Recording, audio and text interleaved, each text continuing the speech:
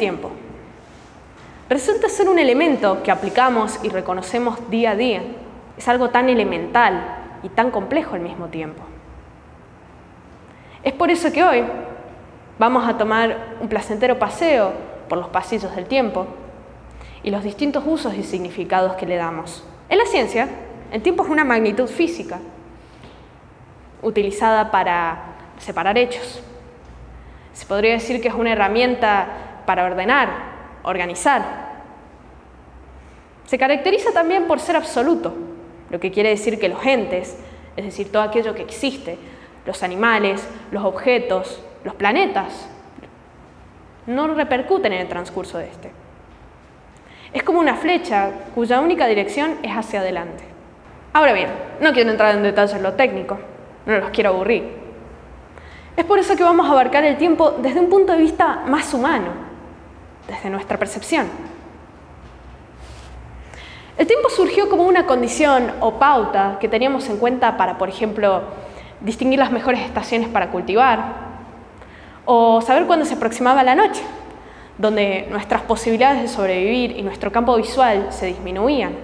Surgió a través de un uso práctico y fue evolucionando y concluyendo, y concluyendo en una construcción que abarca todos los sectores humanos.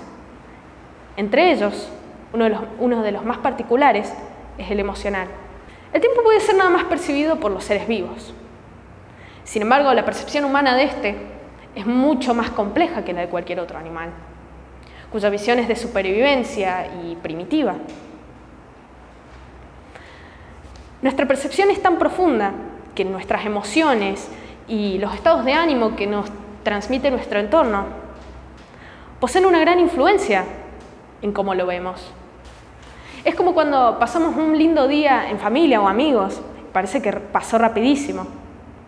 O cuando estamos aburridos en la escuela o en el trabajo y parece congelado. Hemos llegado hasta incluso romantizarlo, por así decirlo. Sentimos nostalgia al recopilar ciertas memorias del pasado es tan profunda que hasta incluso presentamos un deseo de trascender en él y un miedo porque nuestro tiempo se acabe. Hay veces que actuamos pensando en ello, otras veces no. ¿El tiempo realmente existe? En el Oriente, el taoísmo, una religión, lo niega. Afirma que es una parcialidad frente a la energía que mueve el universo, el Tao, que lo impulsa, lo transforma y atraviesa cada uno de sus extremos e intermedios. Este es el gran misterio del tiempo.